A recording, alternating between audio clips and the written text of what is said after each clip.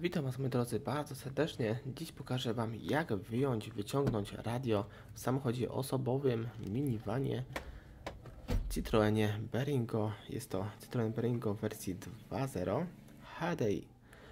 I żeby takie radio tutaj wyciągnąć, wyjąć, to widzicie posłużyłem się tutaj drutami, drutami spawalniczymi tu oczywiście powinny być od nowości e, te druty.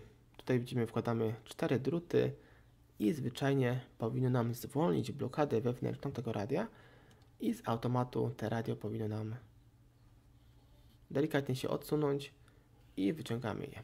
Zobaczymy, czy mi się to uda od razu, no bo to radio troszkę lat tutaj siedzi, pewnie było kombinowane, już wyciągane nieraz, pewnie na siłę. No i zobaczcie, już powoli nam się odsunęło. Tutaj sobie przyblokowałem, bo widzicie, zgiąłem niepotrzebnie druty.